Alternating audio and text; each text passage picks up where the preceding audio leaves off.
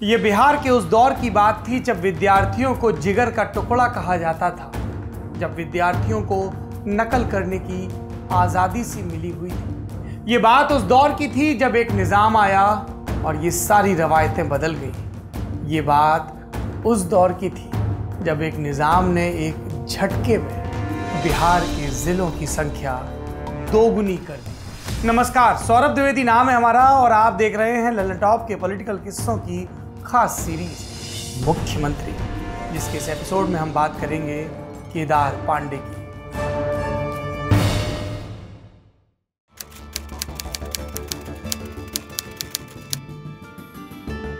कांग्रेस के बाकी कई नेताओं की तरह केदार पांडे का करियर भी जाने चीने ट्रैक पर था। वकालत की डिग्री, साथ में भारत छोड़ो आंदोलन में भाग लेने का सर्टिफिकेट कांग्रेस में सक्रिय केदार को फिर दूसरा सर्टिफिकेट मिला उन्नीस में।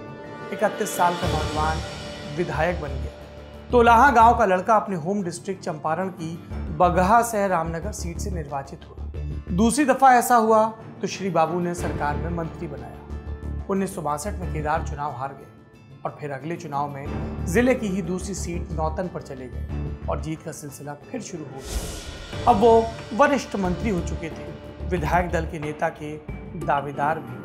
इस दावेदारी में अहम रोल निभाया कांग्रेस में हुई दो फाड़ दिल्ली से आला कमान द्वारा ऑब्जर्वर भेजने का चलन तब भी था। इंदिरा ने विधायक दल नेता के चुनाव के लिए हेमवती नंदन बहुगुणा को भेजा।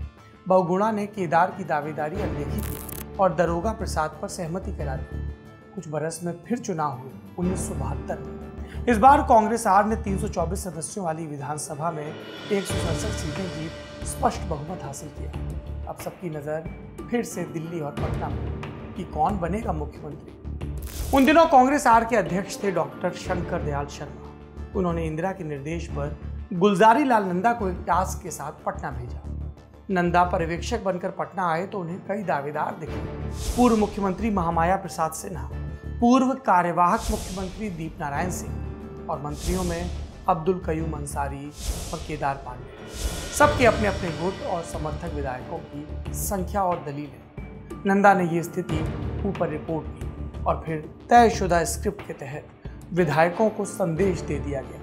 मीटिंग बुलाइए और सर्वसम्मति से केंद्रीय नेतृत्व को विधायक दल का नेता चुनने का अधिकार सौंप दीजिए। ये एक नई सियासी शुरुआत थी। ऊपर से नेता थोपे जाने की रायशुमारी, सहमति, वोटिंग इत्यादि के गैर ज़रूरी होने की। बाद के बरसों में क्या कांग्रेस, क्या भाजपा, सबने यही रीत अपनाई। लेकिन फ़िलहाल बात उन्नीस सौ बहत्तर की। पटना की नज़र अब दिल्ली पर थी और वहाँ से नाम घोषित हुआ केदार पांडे का। राज्यपाल देवकांत बरुआ ने 19 मार्च उन्नीस सौ बहत्तर को केदार पांडे को मुख्यमंत्री पद की शपथ दिलवा दी। कैसा रहा उनका कार्यकाल? जिगर के टुकड़ों को ठीक ही बेहाल करने वाला, ज़िले बनाने वाला, लेकिन कानून के मोर्चे पर चौतरफा कत्ल के चलते ध्वस्त।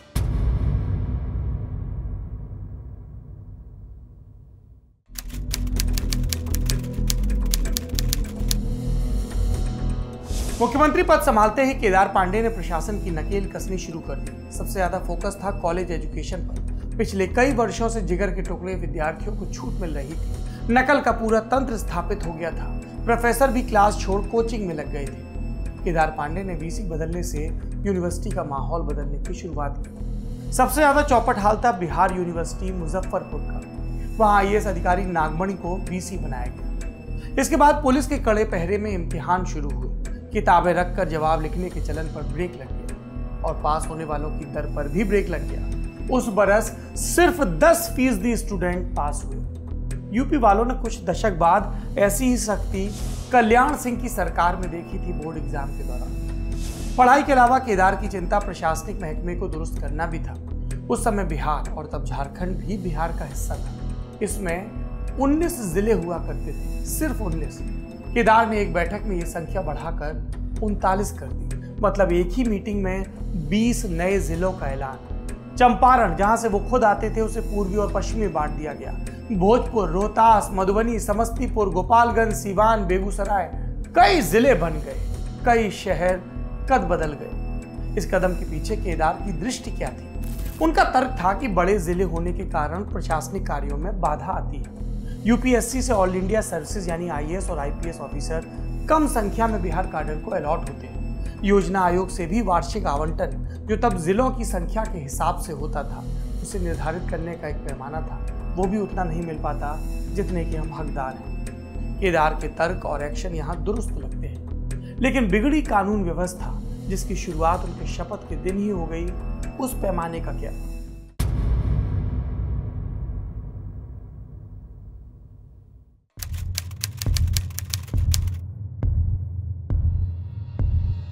उन्नीस मार्च उन्नीस सौ बहत्तर को मुख्यमंत्री पद की शपथ लेने के बाद केदार पांडे समर्थकों से घिरे थे, बधाइयाँ कबूल रहे थे। तभी एक पुलिस अधिकारी भागता हुआ आया और उनके कान में कुछ फुसफुसा गया। मुख्यमंत्री फ़ौरन उठे और अंदर के कमरे में जाकर फ़ोन से चिपक गए और फिर कुछ ही देर में कार में बैठकर बाहर रवाना हो गए। अखबार में अगले दिन दो सुर्खियाँ छपी। पहली, केदार पांडे ने मुख्यमंत्री की शपथ ली और दूसरी सुर्खी विधायक मंजरूल हसन की पटना में हत्या। मजरूल हसन खान सीपीआई पार्टी की तरफ़ से हजारीबाग से विधायक चुने गए थे। फ्लैट नंबर 102 में रहते थे। यहीं पर उन्हें गोली मार दी गई। मुख्यमंत्री खबर मिलते ही मौके पर पहुँचे और वहीं से उच्च स्तरीय जाँच के आदेश दिए। बाद में इस मामले में रामगढ़ के पूर्व कांग्रेसी विधायक बोधूलाल की गिरफ्तारी भी हुई, लेकिन मामला किसी अंजाम तक नहीं पहुँचा। ये मुख्यमंत्री के कार्यकाल का पहला महीना था। दूसरे महीने की सुर्खी बनी बिहार कांग्रेस के सबसे ताकतवर नेताओं में से एक और उस वक्त गोप यानी यादवों के पोप कहे जाने वाले राम लखन सिंह यादव के भाई की हत्या। राम परीक्षण यादव को 6 अप्रैल उन्नीस सौ बहत्तर को पटना ज़िले के फतुआ इस्लामपुर रोड पर गोली मार दी लोगों ने इसमें पॉलिटिकल एंगल खोजा, लेकिन मुख्यमंत्री ने कहा, दोषियों को बख्शा नहीं जाएगा, लेकिन इसे राजनीतिक हत्या नहीं माना जाना चाहिए। इस घटना के ठीक एक बरस बाद एक तीसरी हाई प्रोफ़ाइल हत्या हुई। विधायक की हत्या, इल्ज़ाम पुलिस पर लगा और फिर केदार का सिंहासन डोलने लगा। सोशलिस्ट धारा के मधुबनी सीट से विधायक थे सूरज नारायण सिंह। भारत छोड़ो आंदोलन के दौरान जेपी के साथ हजारीबाग जेल से भागने वाले सेनानी थे सूरज। खौफ ऐसा कि अंग्रेज़ों ने पचास हज़ार का इनाम रखा था। कमाल के वक्ता, मजदूर हितों के गजब पैरोकार। सूरज नारायण श्रमिकों के लिए हिंद मजदूर सभा चलाते थे। अप्रैल उन्नीस सौ चौहत्तर में उन्हें पता चला कि रांची की उषा मार्टिन कंपनी जबरई कर रही है। उन्होंने कंपनी के तांती सिल्वे रोड पर स्थित दफ्तर के सामने आमरण अनशन शुरू कर दिया। फिर पुलिस बल वहाँ पहुँचा और धरना देने वालों पर लाठीचार्ज कर दिया। घटना के जानकारों का कहना है कि इसमें कांग्रेस के शोहदे भी शामिल थे। 14 अप्रैल को हुए इस लाठीचार्ज में सूरज नारायण बुरी तरह घायल हो गए और सर में पड़ी लाठी की चोट के चलते 21 अप्रैल को उनकी अस्पताल में मृत्यु हो गई। 22 अप्रैल को सूरज नारायण की पटना के बांसघाट पर अंत्येष्टि हुई। जयप्रकाश नारायण बिलक कर रोने लगे। सरकार पर उन्होंने संगीन इल्ज़ाम लगाए। और आखिरी में जानते हैं, क्या नितांत व्यक्तिगत बात कही? इतना दुखी और निराश तो मैं अपनी पत्नी प्रभावती के निधन पर भी नहीं हुआ था, जितना साथी सूरज के जाने पर और सरकार वो इस घटना पर क्या कर रही थी? उसके समर्थकों ने कहा यह घटना सोशलिस्ट ट्रेड यूनियन के भीतर राजपूत बनाम भूमिहार की सियासत का नतीजा है। कांग्रेस समर्थक मजदूर नेत्री रमणिका गुप्ता ने तो इशारों इशारों में सोशलिस्ट नेता बसावन सिंह के लोगों पर इस घटना का आरोप भी मर दिया। उधर दिल्ली में एक नेता थे, इंदिरा के करीबी, जो लगातार केदार पर आरोप मर रहे थे। पटना के आकाश में रुखसती के बादल अब घुमड़ने लगे थे।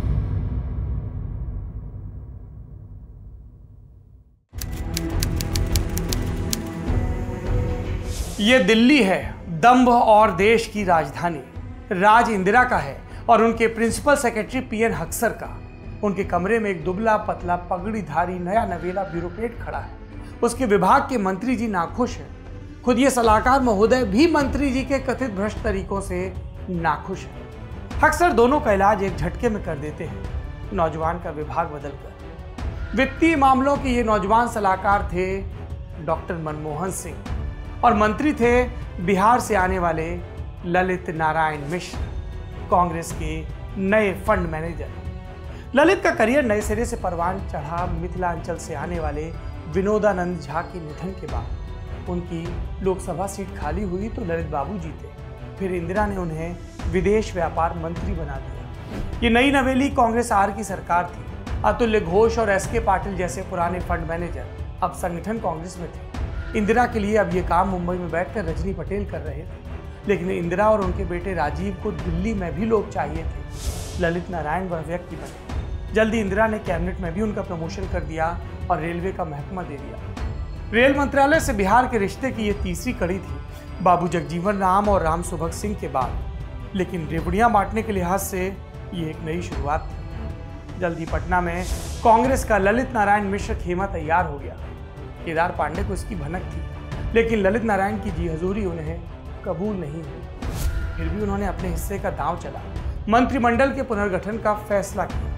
मई 1973 में उन्होंने मंत्रिपरिषद से इस्तीफा देने को कहा।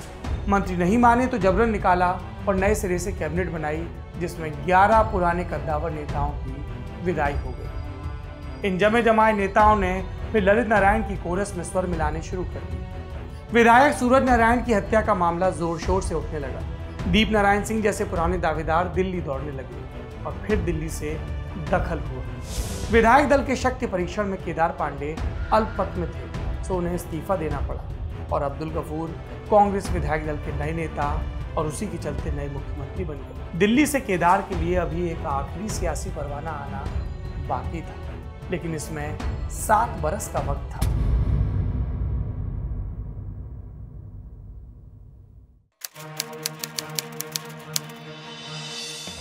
उन्नीस सौ सतहत्तर के चुनाव में कांग्रेस बुरी तरह हारी, केंद्र और फिर राज्य दोनों में। लेकिन केदार पांडे अपनी नौतन सीट बचाने में सफल रहे। कुछ महीने बाद इंदिरा ने प्रदेश कांग्रेस में जान फूकने के लिए सीताराम केसरी को हटाकर केदार पांडे को प्रदेश अध्यक्ष बना दिया। इंदिरा जब हाथी पर सवार होकर बेलछी में हुए दलित हत्याकांड का मुआयना करने गई, तब केदार बतौर अध्यक्ष उनके बगलगीर थे। अगले वर्ष इंदिरा को दूसरी दफ़ा कांग्रेस से निकाल दिया गया, उन्नीस में।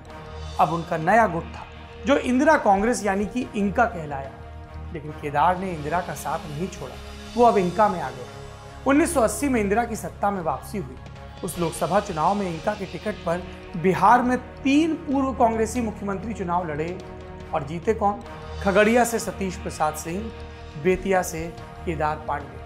तीसरे मुख्यमंत्री थे जगन्नाथ मिश्र, जो अपनी चाची के चलते झंझारपुर से चुनाव हार गए। नतीजे आने के बाद केदार को केंद्रीय कैबिनेट में रेल का महकमा मिला। कुछ महीने बाद बिहार में विधानसभा चुनाव हुए, कांग्रेस जीती और इस दफ़ा मुस्कुराने की बारी केदार नहीं, जगन्नाथ की थी। संजय गांधी से करीबी के चलते केदार की दावेदारी किनारे हुई और जगन्नाथ मिश्र मुख्यमंत्री बन गए। इसके बाद केदार पांडे की राजनीति शिथिल पड़ने लगी। जनवरी उन्नीस सौ तिरासी में उन्हें बिना किसी प्रकट कारण के मंत्रालय से रुखसत कर दिया गया। केदार के आवास, पाँच सफदरजंग रोड की प्रधानमंत्री के आवास एक सफदरजंग रोड से ज़्यादा दूरी नहीं थी, लेकिन राजनीतिक दूरी बढ़ चुकी थी। तेईस मार्च उन्नीस सौ तिरासी को केदार पांडे विदेश मंत्री पीवी नरसिम्हा राव के घर पहुँचे। चाय और सियासी भविष्य पर चर्चा के इरादे से। लेकिन शाम को डॉक्टर उनके स्वास्थ्य की चर्चा कर रहे थे। केदार पांडे को ब्रेन हेमरेज हो गया था और इसी के चलते दो दिन बाद एम्स में उनका निधन हो गया। उनकी सीट बेतिया पर उपचुनाव हुए। इंदिरा ने केदार के बेटे मनोज पांडे को टिकट दिया। उनके सामने उतरे सीपीआई के दिग्गज नेता पीताम्बर से सहानुभूति लहर काम नहीं आई, मनोज हार गए। एक बरस बाद इंदिरा की हत्या हुई, फिर से सहानुभूति लहर इंदिरा के पक्ष में और इस दफ़ा मनोज पांडे जीतने में कामयाब रहे। बाद में इसी परिवार की तीसरी पीढ़ी शाश्वत केदार के नाम के साथ सियासत में आई। सियासत, जिसके माहिर खिलाड़ी थे केदार। राजनीति, जिसे बिहार के संदर्भ में बांच रहे हैं हम इस मुख्यमंत्री सीरीज़ में। अगले अंक में बात करेंगे लालू, नीतीश, सुशील मोदी और रामविलास पासवान को सुर्खियाँ दिलाने वाले मुख्यमंत्री अब्दुल गफूर की। नमस्कार।